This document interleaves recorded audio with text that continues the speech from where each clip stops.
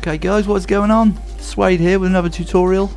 Uh, this time we're going to be upgrading my current PC, which is an AMD 4300 and we're going to be using an X79 motherboard paired with a Xeon E5-2670 processor. And I've also bought a CIT storm case as well. Uh, you can pick this whole kit up second hand for about £247, 338 UK, um, US dollars. I'm hoping this will be a nice little upgrade. Uh, I'm going to be pairing that with the E5-2670 processor which has a base frequency of 2.60 GHz and a turbo frequency of 3.3 GHz and a massive 20 megabyte of cache. I've heard good and bad things about these motherboards. This one is the X79Z version 2.4e. Okay, onto the build. First things first, we've got to install the backplate, which comes with the motherboard. And that should just snap into place like that.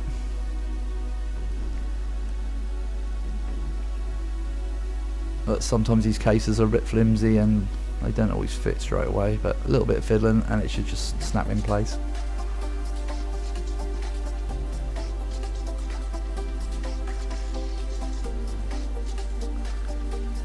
Okay, now that's done, we're going to install the processor.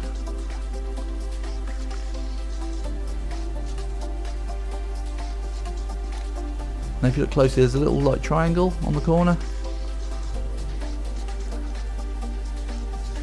You've got to make sure that that goes in the same position which is marked on the top plate as a triangle so make sure that goes in my case is up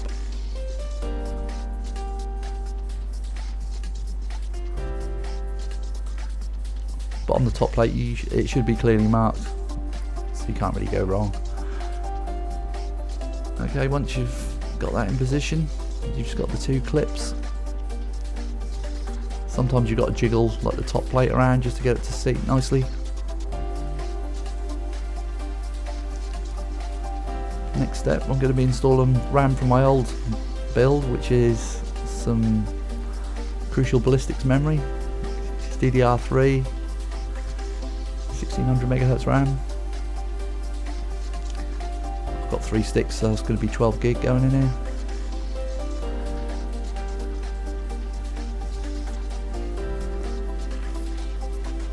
Make sure you get it the right way around, of course.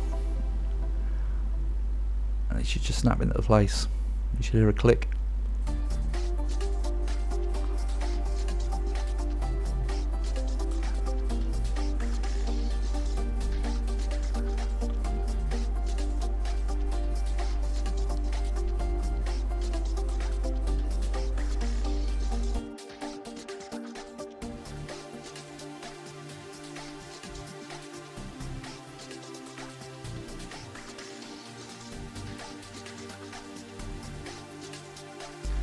Okay guys, now you have that. That's the RAM installed and the processor. Next stage, we're going to be installing the cooler. This is the Raijintek, as I said earlier, available from Amazon, about £18. Got some good reviews, so I thought I'd go with that.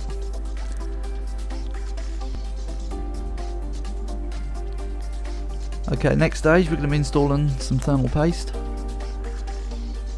uh, roughly the size of a pea small ball as you can see here in the video.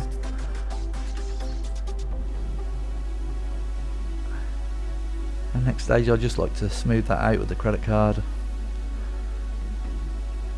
Just to cover the whole area in a nice thin layer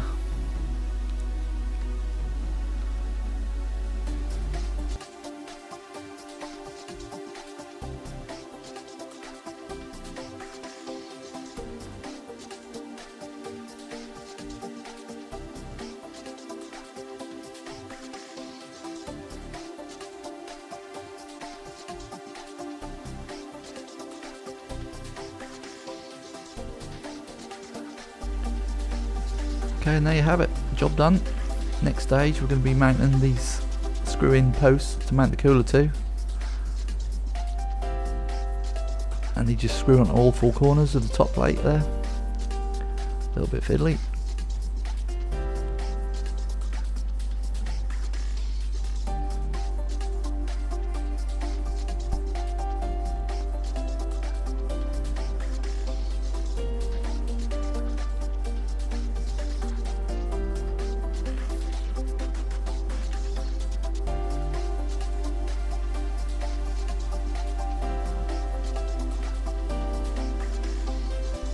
Okay, next stage, we're going to be mounting these two side plates. Just make sure that little centre um, sort of post is pointing outwards.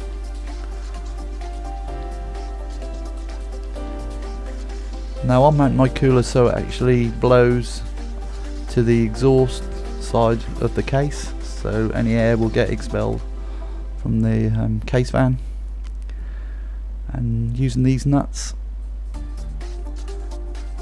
they just screw on top of the top plate you've just installed. Nice and simple. Just make sure these all finger tight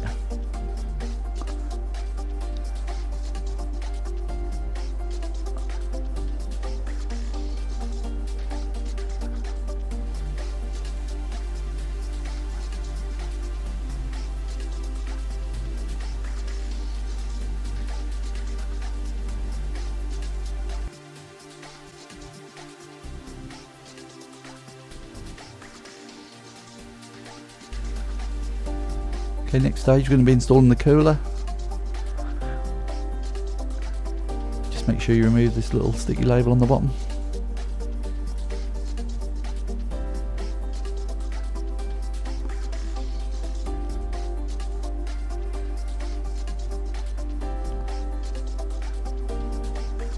Now the other little piece you'll need is a small little plate basically just fixing the two holes that you've got on the bottom of the cooler. And this basically will be fastened down with two screws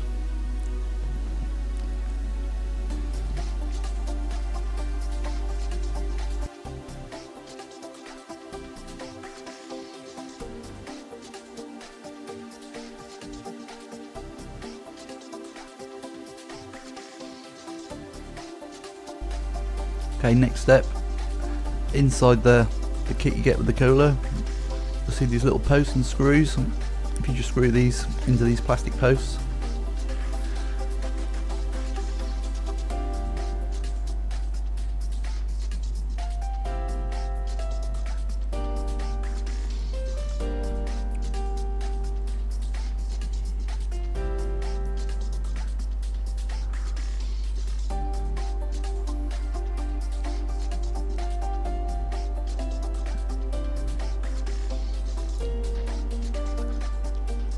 This is quite fiddly to be honest.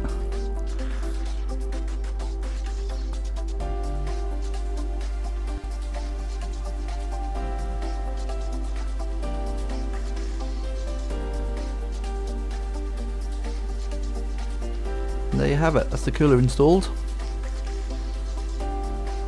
Okay, next stage we're going to be putting the motherboard into the case.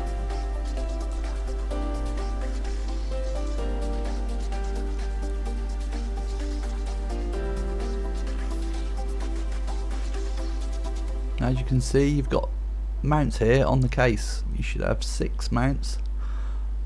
Just make sure they correspond to the holes you've actually got on your motherboard so you may have to move them depending on if you've got like a larger ATX. So just bear that in mind, make sure there's nothing shorting out on the board on the bottom.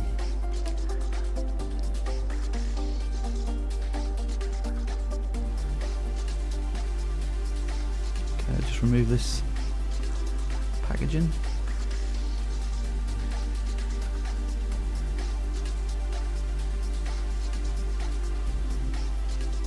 And carefully position the motherboard on top of, of the post you've got there. Make sure the holes line up and also you've got to push it into the back plate. Okay, next stage we're going to be installing the power supply I'm currently using one from my old system, which is a 500 watt supply.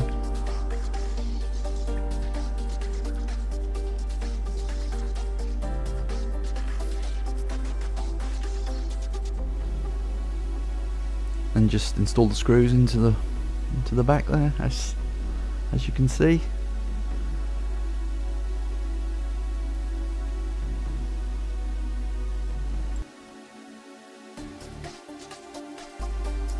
It's a little bit awkward because I'm trying to avoid the camera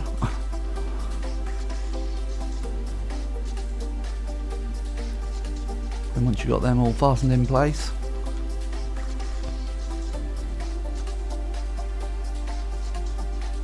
The next stage will be installing the graphics card.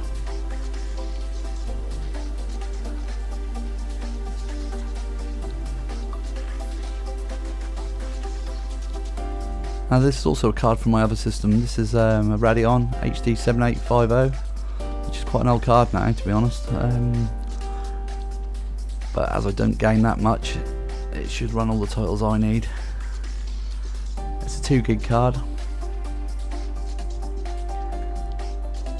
Now on this motherboard you'll see there's a white clip to the right hand side. This this needs to be pulled to the right to allow the card to be fitted. Okay, and um, once you've once it's all seated home you can do up the graphics card with your screw.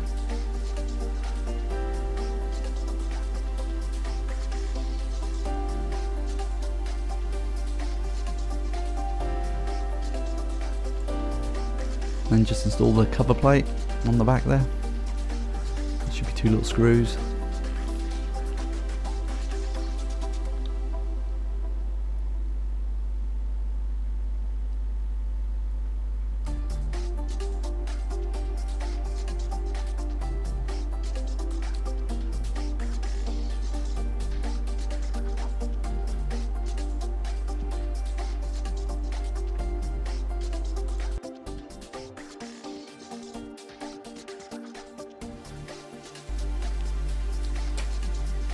Okay, once you've done up your last screw, going to be installing the power connector, the 24 pin.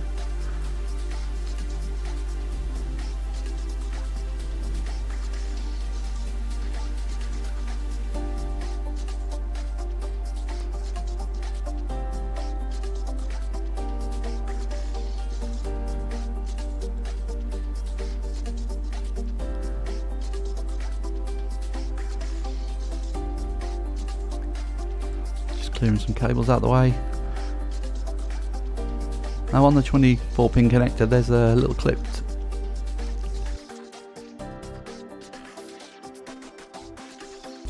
so just make sure you, you plug that in the right way around. Just be careful here as well because sometimes you can bend the motherboard when you're actually pushing the clip in so just support the motherboard on the bottom with your, with your fingers. Okay next stage we're going to install the SATA 3 cable which just goes at the top there.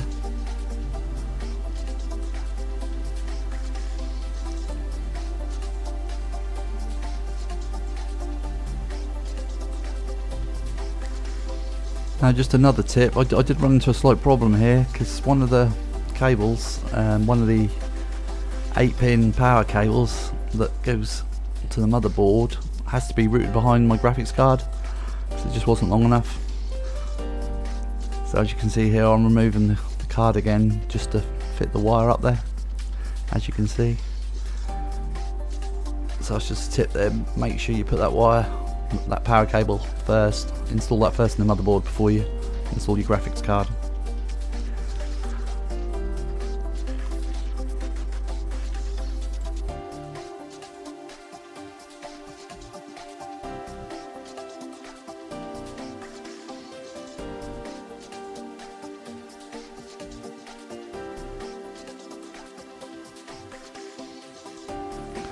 Okay, one of the final jobs now is to install the two 6 pin uh, graphics card connectors.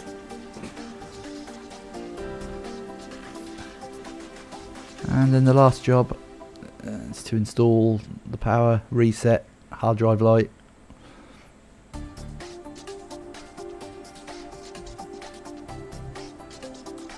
You can't really go wrong with these because it is actually marked on the actual motherboard sides plus minus.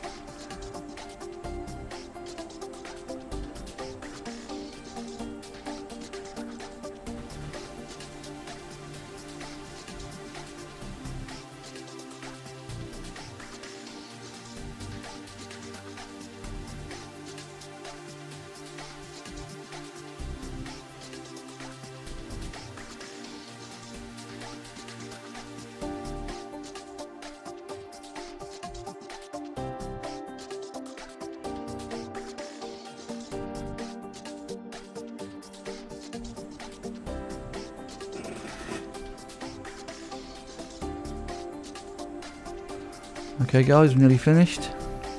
It's just a case now of tidying up the wires.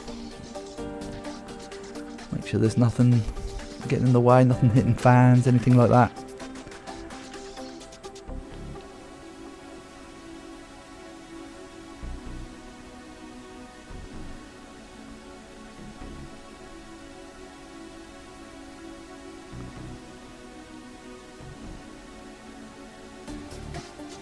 Last job, just put the side side casing on.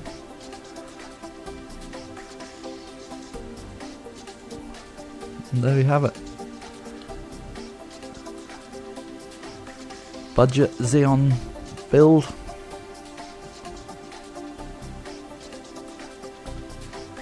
And hopefully this can be a lot better than my old FX 4300.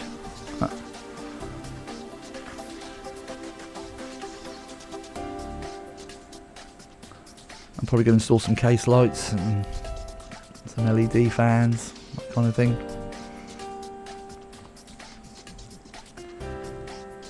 Right now, I'll have to wait and fire this up, see how it goes. So stay tuned guys, the next video, I'll hopefully be showing this all up and running and benchmarking a few games and comparing it to my old AMD system.